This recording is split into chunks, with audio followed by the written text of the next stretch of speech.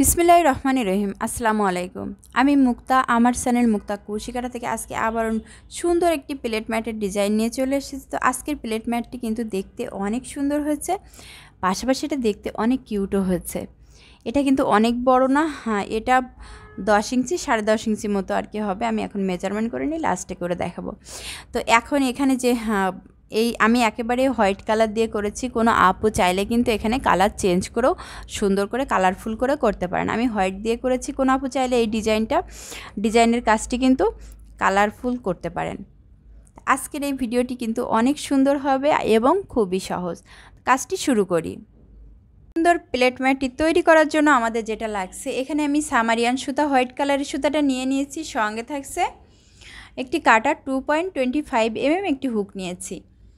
এখন আমরা ফার্স্টে যেটা করব, একটি ম্যাজিক রিং দিয়েই কাজটা আজকে শুরু করব। প্রথমে যেটা করব, আর ম্যাজিক রিংটা কিন্তু বিভিন্নভাবে দেওয়া যায়, যে আপুদের যেভাবে সুবিধা হবে সেভাবেই দিয়ে নেবেন তো সুতাটা আমি এখানে এভাবে ধরে নিলাম, নিয়ে এই জাস্ট এভাবে করে নিয়ে এই যে লুপটা এসছে, এখানে আমি জাস্ট ক্রাসটা আমি এই কর্নারে রাখলাম এভাবে করে নিয়ে পেজ দিয়েই আমরা অপর সাইড থেকে এখান থেকে একটা লুপ নিয়ে এভাবে বের করে নিলেই কিন্তু আমাদের ম্যাজিক রিংটি রেডি হয়ে গেল। আমি একটু ছোট করে নিব কাজের সুবিধার জন্য। আমাদের ম্যাজিক রিংটি কিন্তু রেডি হয়ে গেল। তো যে আপু যেভাবে সুবিধা হয় সেভাবেই করে নিতে পারেন। তাছাড়া কাজটি কিন্তু চেন দিয়েও করা যাবে। তো এখানে আমি ফার্স্টে ম্যাজিক রিংয়ের সঙ্গে কিন্তু একটি চেন আমাদের রেডি হয়ে গেছে। তো আবারও আমি আরও একটি চেন করে নিলাম, পরপর আরও দুইটি চেন করে নিলাম। মোট তিনটি চেনকে একটি ডাবল ক্রুশ হিসেবে কাউন্ট করব আর মাঝের স্পেস হিসাবে আমি আরও একটি চেন দিলাম। তাহলে মোট আমাদের ফার্স্ট রাউন্ডে ফার্স্টের কাজটি আমাদের চারটি চেন দিয়েই করতে হলো। এবার আমি এখানে একটা পেজ দিয়ে আবারও ওই ম্যাজিক রিংয়ের ভিতর থেকে একটি ডাবল ক্রুশ উঠিয়ে নেব। তাহলে এখানে তিনটি চেনকে একটি ডাবল ক্রুশ হিসেবে কাউন্ট করব আর একটি চেনকে আমি মাঝের স্পেস হিসাবে ধরবো। আবারও একটি চেন দিয়ে নেব। সেম ম্যাজিক রিংয়ের ভিতর থেকে আমি আবারও একটি ডাবল ক্রুশ করে নিলাম। সেমভাবে একটি চেন আবারও একটি ডাবল ক্রুশ তো এভাবে করে আমাদের এই ম্যাজিক রিংয়ের ভিতর থেকে মোট বারোটি চেন হবে আর বারোটি ডাবল ক্রুশ হবে। এভাবে করে আমি অফ ক্যামেরায় বাকিটি, বাকি যে ডাবল ক্রুশগুলো রয়েছে, এভাবে করে নিব। একটি করে চেন একটি করে ডাবল ক্রুশ মোট বারোটি হবে। এখানে আমি মোট বারোটি ডাবল ক্রুশ করে নিয়েছি, মাঝে একটি করে চেন দিয়েছি। এক, দুই, তিন, চার, পাঁচ, ছয়, সাত, আট, নয়, দশ, এগারো, বারো। তো আমি কিন্তু এখানে আমাদের ভিতরে চেন কিন্তু এটা ধরে আমি একটু টান দিয়ে নিলাম, তাহলে আমার যতটুকু স্পেস দরকার ততটুকু স্পেস কিন্তু হয়ে গেল। ম্যাজিক রিং দিয়ে কাজটি করলে এটাই হয় সুবিধা। তো এখন আমি জয়েন্টের আগে আমাদের আবারও একটি চেন দিতে হবে স্পেসের জন্য। তো ঠিক আমি এখানে ফার্স্টে যে শুরু করেছিলাম, তিনটি চেন দিয়ে এক, দুই, তিন। এই তিন নাম্বার চেনে যেয়ে এভাবে করে লুপ এনে একটি স্লিপ স্টিচ এখানে দিয়ে জয়েন করে দিব। তাহলে আমাদের ফার্স্ট রাউন্ডের কাজটি কমপ্লিট হয়ে গেল। এখানে আবারও দ্বিতীয় রাউন্ডে শুরু করার জন্য আমি ফার্স্টে তিনটি চেন করে নিলাম আর তিনটি চেনকে অবশ্যই একটি ডাবল ক্রুশ হিসেবে কাউন্ট করব। তো সেম গ্যাপ থেকে আমি আবারও একটি ডাবল ক্রুশ করব।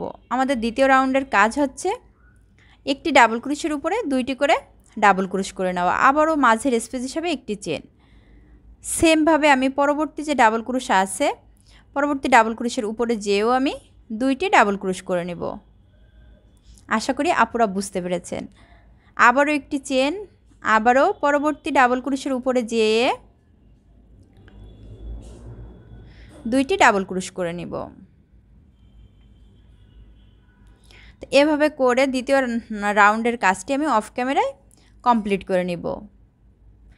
প্রত্যেকটি ডাবল ক্রুশের উপরে দুইটি করে ডাবল ক্রুশ, মাঝে একটি করে চেন। অফ ক্যামেরায় কাজটি কমপ্লিট করে নিব। এখানে আমি দ্বিতীয় নাম্বার রাউন্ডের কাজটিও কিন্তু আমি কমপ্লিট করে নিয়েছি। আবারও জয়েন্টের আগে এখানে একটি চেন করে নিব। সেমভাবে এক, দুই, তিন তিন নাম্বার চেন, তিনটে চেন দিয়ে যে ডাবল ক্রুশটা ধরেছিলাম, তিনটি চেনকে কাজটি শুরু করেছিলাম, ঠিক সেই তিন নাম্বার চেনের ভিতর থেকে লুপ এনে স্লিপ স্টিচ দিয়ে জয়েন করে দিলাম।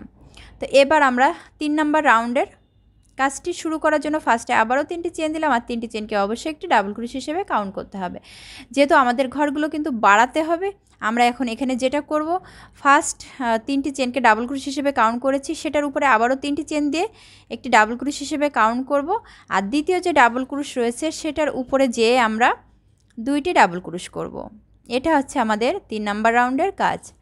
ফার্স্টেরটা একটা দিব দ্বিতীয়টায় দুইটি ডাবল ক্রুশ করব। আবারও মাঝের স্পেস হিসেবে একটি চেন ব্যবহার করব। সেমভাবে আমরা পরবর্তী যে ডাবল ক্রুশ আছে ফার্স্টে ডাবল ক্রুশে একটি ডাবল ক্রুশ করব। দ্বিতীয় নাম্বারে যেয়ে আমরা দুইটি ডাবল ক্রুশ করব। তাহলে কিন্তু এভাবে করে আমাদের রাউন্ডটা বাড়তে থাকবে।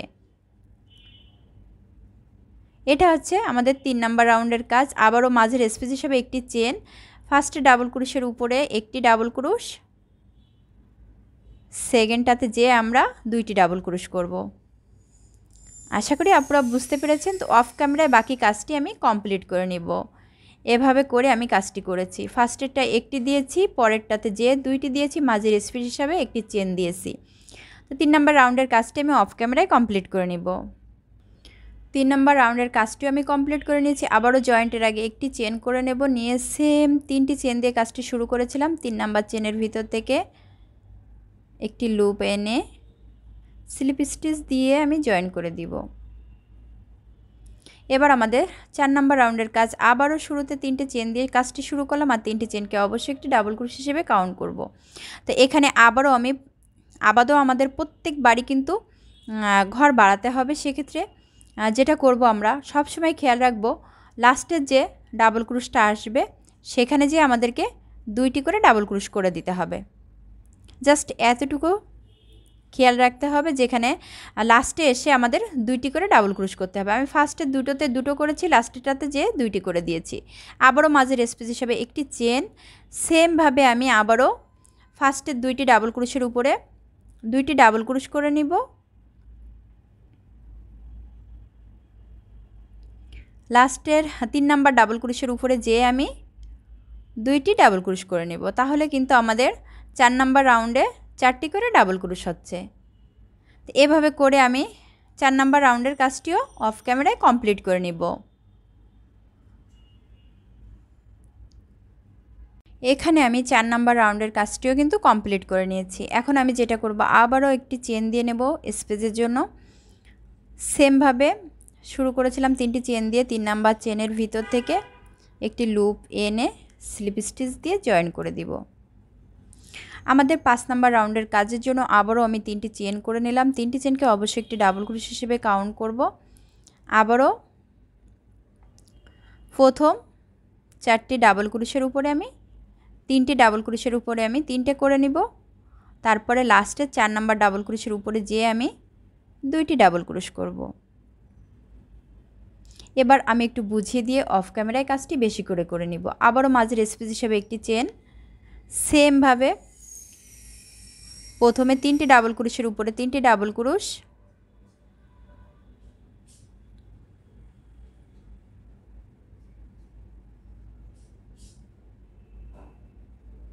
লাস্টেরটাতে দুইটি ডাবল ক্রুশ।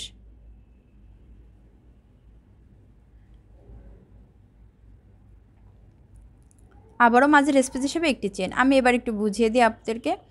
এখানে আমি যেটা করেছি, পাঁচ নাম্বার রাউন্ডে তিন নাম্বার রাউন্ডে দুই নাম্বার রাউন্ডে সব কিন্তু প্রথমে একটি করে, তারপরে দুইটি করে, তারপরে লাস্টেরটাতে দুইটি করে। লাস্টের ডাবল ক্রুশের উপরে দুইটি করে।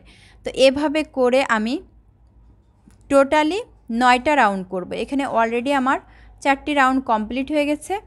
পাঁচ নাম্বার রাউন্ড শুরু করেছি। তো এভাবে করে বাকি রাউন্ডগুলো আমি কমপ্লিট করে নিব। টোটালি আমাদের নয়টা রাউন্ড করতে হবে। তো সেমভাবে প্রতিবারই মানে যেটা করতে হবে, প্রত্যেকটা রাউন্ডে যে লাস্টের যে ডাবল ক্রুশটা থাকবে, এরকম লাস্টের ডাবল ক্রুশটার উপরে দুইটি করে করতে হবে। তাহলে কিন্তু আমাদের ডাবল ক্রুশ বাড়তে থাকবে। রাউন্ডে যে বাড়াতে হবে, সেটা বাড়তে থাকবে। তো এভাবে করে আমি বাকি রাউন্ডের কাজটিও অফ ক্যামেরায় কমপ্লিট করে নেব। আশা করি আপনারা বুঝতে পেরেছেন। এখানে আমি পুরো নয় নাম্বার রাউন্ড পর্যন্ত কাজটি কিন্তু করে করে নিয়েছি। এখানে আমি একটু দেখাই। এক দুই, তিন, চার, পাঁচ, ছয়, সাত, আট, নয়। নয়টি রাউন্ড কিন্তু কমপ্লিট করে নিয়েছি। এখন আমি যেটা করব,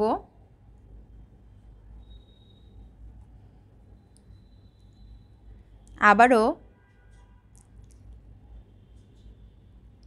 জয়েন করার আগে এখানে একটি চেন করে নিব।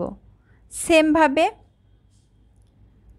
যে তিনটি চেন দিয়ে কাজটি শুরু করেছিলাম, তিন নাম্বার চেনের ভিতর থেকে একটা লুপ এনে স্লিপ স্টিচ দিয়ে নিলাম। তো এখন আমাদের এখানে যে ডিজাইনটি দেখিয়েছি ফার্স্টে সেটা করার জন্য যেটা করতে হবে, আমাদের ফার্স্ট যে ডাবল ক্রুশটা তিনটি চেন দিয়ে যে ডাবল ক্রুশটা করেছি, সেটা স্কিপ করতে হবে। সেটা স্কিপ করার জন্য আমাদের পরবর্তী ডাবল ক্রুশের উপর থেকে কাজটি শুরু করতে হবে। সেটার জন্য আমি এখানে একটি, আরও একটি স্লিপ স্টিচ করে নিব। আরেকটি স্লিপ স্টিচ করে নিয়ে আমি সেকেন্ড যে ডাবল ক্রুশ ছিল, সেটাতে চলে আসলাম।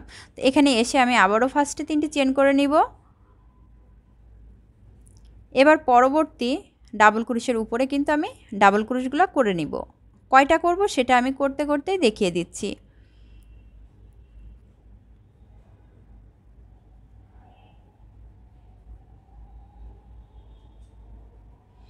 এখানে কিন্তু মোট আমাদের নয়টি, নয় নাম্বার রাউন্ড পর্যন্ত নয়টি ডাবল ক্রুশ হয়েছে। এখানে কিন্তু নয়টি ডাবল ক্রুশ আছে। তো নয়টি ডাবল ক্রুশের উপরে আমরা দুই সাইড থেকে এবার বলি, আমাদের দুই সাইড থেকে দুইটি ডাবল ক্রুশ স্কিপ করতে হবে ডিজাইনটির জন্য।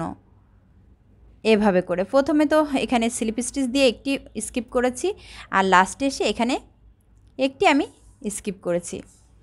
এখন আমি এখানে যেটা করব, দুইটি চেন করে নিব। যে গ্যাপটি আছে, এই গ্যাপের ভিতর থেকে একটি ডাবল ক্রুশ করে নিব। আবারও দুইটি চেন করব। এটা আমাদের দশ নাম্বার রাউন্ডের কাজ। এখানে একটি ডাবল ক্রুশ স্কিপ করব। তার পরবর্তী ডাবল ক্রুশে যেয়ে আমরা ডাবল ক্রুশ করব। আবারও মাঝে যে কয়টি ডাবল ক্রুশ আছে, প্রত্যেকটির উপরে একটি করে ডাবল ক্রুশ করে নেব। এটা হচ্ছে আমাদের দশ নাম্বার রাউন্ডের কাজ মূলত।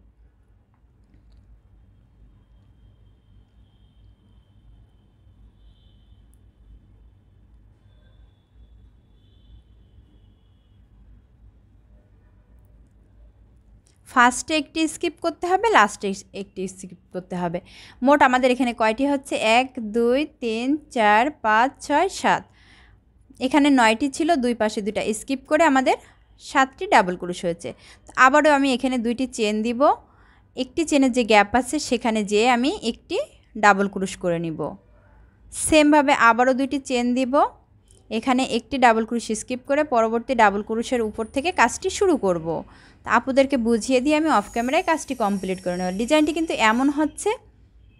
তো আমাদের এই রাউন্ডের কাজ হচ্ছে মূলত ফার্স্টে একটি স্কিপ করতে হবে লাস্টে একটি স্কিপ করতে হবে। যেখানে একটি চেনের গ্যাপ আছে সেখানে যাওয়ার জন্য ফার্স্টে এখানে দুইটি চেন করতে হবে, তারপরে একটি চেনের গ্যাপে একটি ডাবল ক্রুশ করতে হবে, আবারও দুইটি চেন দিয়ে একটি ডাবল ক্রুশ স্কিপ করে দ্বিতীয় ডাবল ক্রুশের উপর থেকে কাজটি শুরু করতে হবে। তো অফ ক্যামেরা আমি বাকি কাজটি কমপ্লিট করে নিব। দশ নম্বর রাউন্ডের কাজটি কিন্তু আমি কমপ্লিট করে নিয়েছি, দেখতে এমন হয়েছে। তো এখন আমরা এখনও কমপ্লিট পুরোপুরি করিনি, এখানে রেখে দিয়েছি।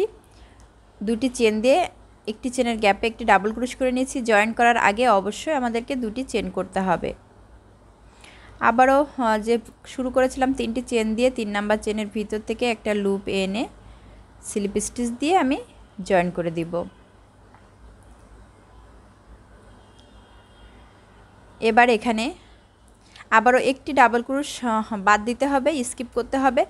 পরবর্তী ডাবল ক্রুশে যাওয়ার জন্য আমি একটা স্লিপ স্টিচ দিয়ে নিলাম। সেমভাবে ফার্স্টে আমি তিনটে চেন করে নিব। তিনটি চেনকে অবশ্যই একটি ডাবল ক্রুশ হিসেবে কাউন্ট করব। পরবর্তী ডাবল ক্রুশের উপরে যে আবারও আমি একটি ডাবল ক্রুশ করে নিব। তারপরে আবারও পরবর্তী ডাবল ক্রুশের মধ্যে আমি ডাবল ক্রুশ করে নেব। পরপর আমাকে এখানে সাতটি ডাবল ক্রুশ আছে। আমি দুই সাইডে দুইটা স্কিপ করে মাঝে আমাদের পাঁচটি ডাবল ক্রুশের উপরে কাজ করতে হবে। তো এভাবে করে আমি পাঁচটি ডাবল ক্রুশ করে নিয়েছি। এবার আমাদের যেটা করতে হবে, এখানে একটি চেন দিব। দিয়ে সরাসরি আমি এই যে একটি ডাবল ক্রুশ করেছিলাম একটি চেনের গ্যাপে, সেই ডাবল ক্রুশের উপর থেকে আমি ডাবল ক্রুশ করে নিব। এখানে কিন্তু আমি একটি চেন দিয়েছি। এবার এই মাঝে আমি এখানে পাঁচটি চেন দিব। দুই, তিন, চার, পাঁচ। পাঁচটি চেন দিয়ে সেম গ্যাপ থেকে আমি আবারও একটি ডাবল ক্রুশ করে নিব। তারপর আবার একটি চেন দিব। একটি ডাবল ক্রুশ স্কিপ করে পরবর্তী ডাবল ক্রুশের উপর থেকে আমরা আবারও একে একে পাঁচটি ডাবল ক্রুশ করে নিব। আমি আরও একটি ঘর দেখিয়ে দিই, আপুরা বুঝতে পারবেন তাহলে।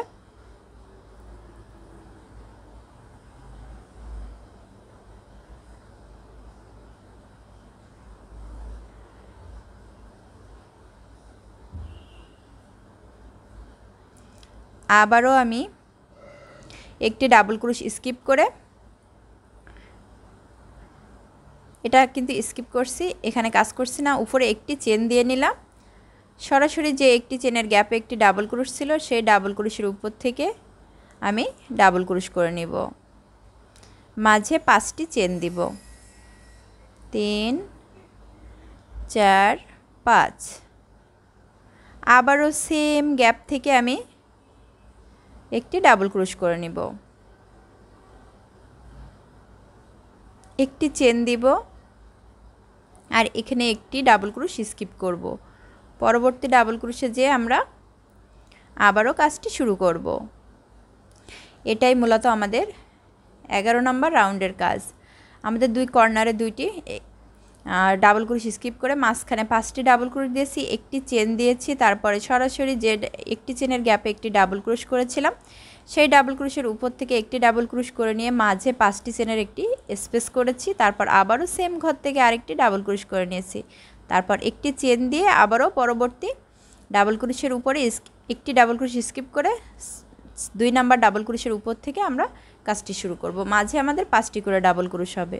তো এভাবে করে আমি এগারো নম্বর রাউন্ডের কাজটি অফ ক্যামেরায় কমপ্লিট করে নিব।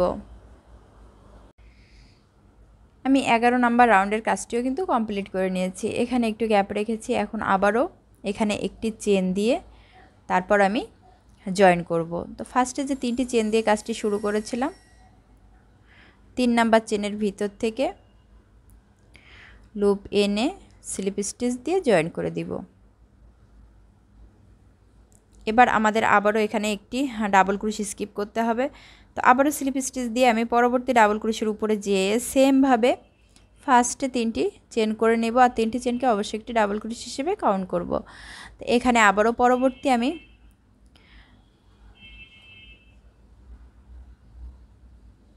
আমাদের কিন্তু এখানে পাঁচটি নিচে হ্যাঁ পাঁচটি ডাবল ক্রুশ আছে, এখানে আমাদের তিনটি হবে। দুই সাইড থেকে দুইটি স্কিপ করতে হবে। তো এবার হচ্ছে আমাদের এখানে দুইটি চেন করে নিব।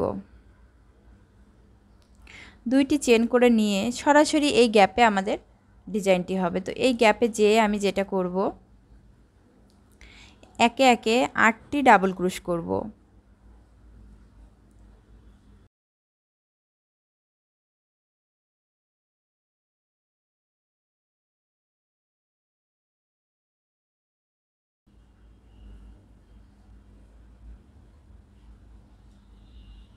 পাঁচ,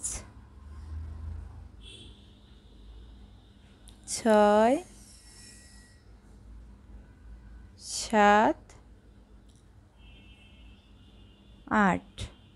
আমি এখানে আটটি ডাবল ক্রুশ করে নিয়েছি। আবারও এখানে আমি দুইটি চেন দিব। একটি ডাবল ক্রুশ স্কিপ করে পরবর্তী ডাবল ক্রুশের উপরে যেয়ে আমি আবারও ডাবল ক্রুশ করে নিব।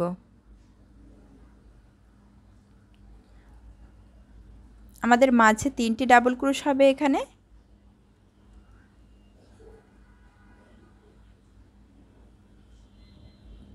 এখানে একটা স্কিপ করেছি, এখানে একটা স্কিপ করতে হবে।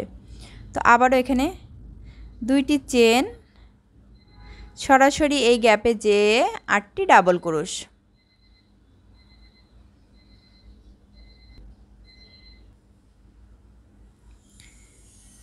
পাঁচটি চেনের গ্যাপে আমাদের আটটি ডাবল ক্রুশ করতে হবে। দুই, তিন, চার,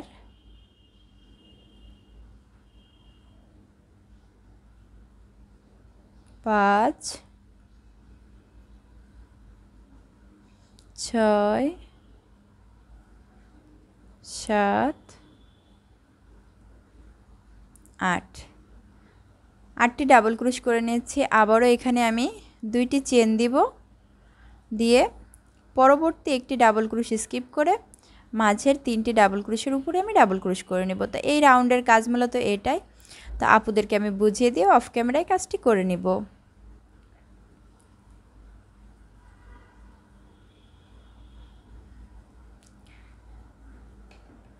আমাদের ডিজাইনটি কিন্তু এমন হচ্ছে। আমাদের তিনটি করে ডাবল ক্রুশ করতে হচ্ছে। ফার্স্টে একটা স্কিপ, তারপরেও আবার একটা স্কিপ, মাঝে দুইটি চেন, তারপরে পাঁচটি চেনের গ্যাপে যে আমাদের আটটি ডাবল ক্রুশ।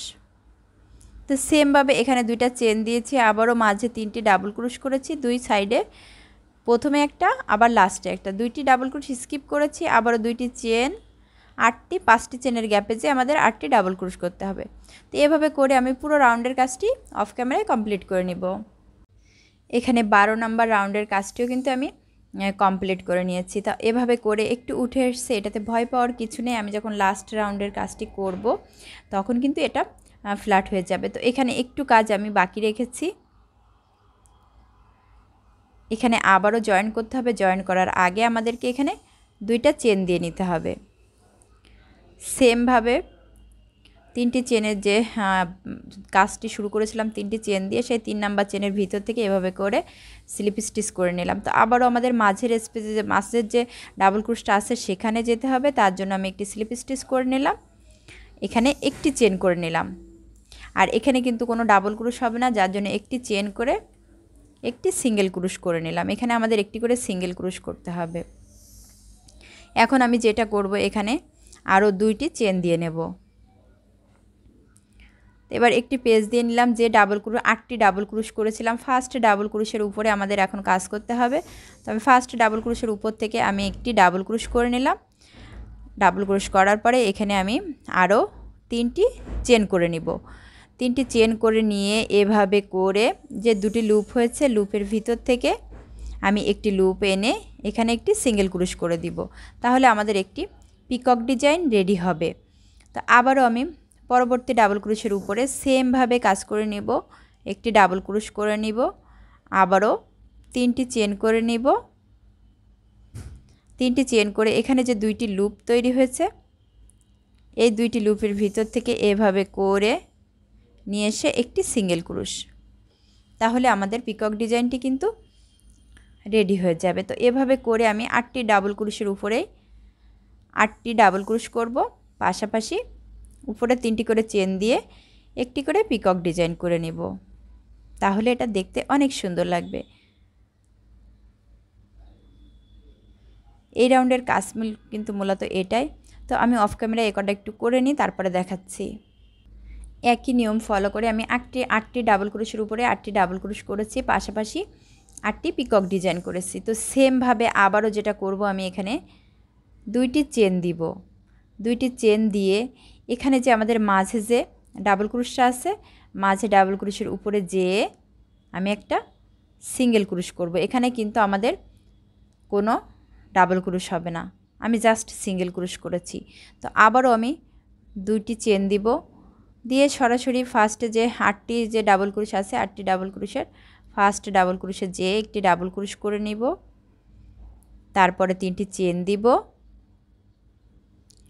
তিনটি চেনের মাথায় যে এখানে যে লুপটা হয়েছে, দুইটি লুপ, দুইটি লুপের ভিতর থেকে এভাবে এনে একটি সিঙ্গেল ক্রুশ করে দেব। তাহলে আমাদের এখানে পিকক ডিজাইনটি রেডি হয়ে যাবে। তো আমাদের ডিজাইনটি দেখতে এমন হয়েছে, দেখতে কিন্তু অনেক সুন্দর লাগছে, আমি একটু দেখাই, এভাবে করে দেখাই। এটা কিন্তু ফ্ল্যাট হয়ে রয়েছে।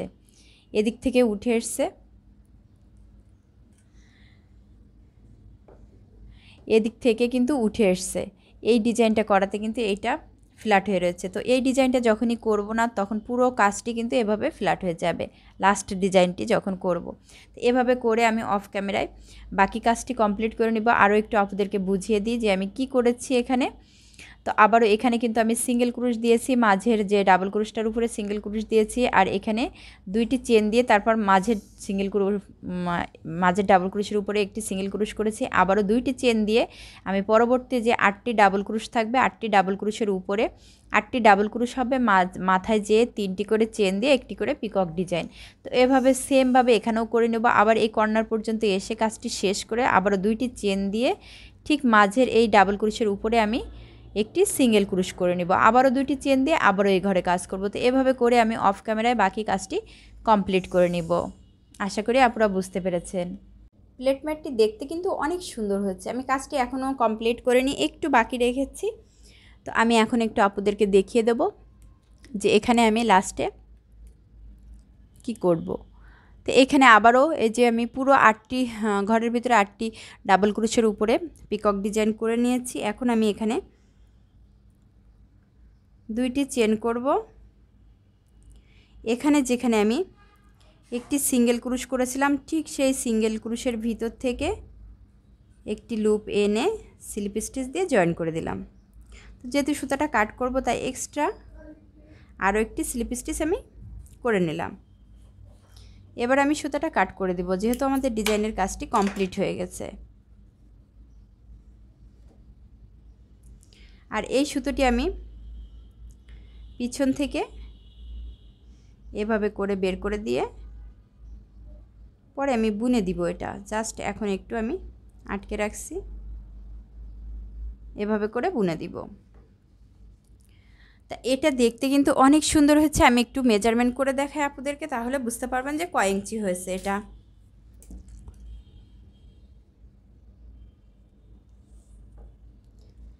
এটা সাড়ে দশ ইঞ্চি একটি প্লেট ম্যাট, সাড়ে দশ ইঞ্চি হয়েছে এটা। যে ডাইনিং টেবিলগুলো ছোট থাকে, সেখানে কিন্তু এটা বিছালে অনেক সুন্দর লাগবে আর এটা দেখতেও কিন্তু অনেক সুন্দর হয়েছে। আজকের এই প্লেট ম্যাটের ডিজাইনটি আপনাদের কেমন লেগেছে অবশ্যই কমেন্টসে জানাবেন। প্লেট ম্যাটের ডিজাইনটি যদি ভালো লাগে প্লিজ ভিডিওতে একটা লাইক একটা শেয়ার দিবেন। কারণ আপনাদের একটা লাইক একটা শেয়ার আমাকে পরবর্তী ভিডিও করতে উৎসাহ দেয়। সবাই ভালো থাকবেন সুস্থ থাকবেন। আল্লাহ হাফেজ।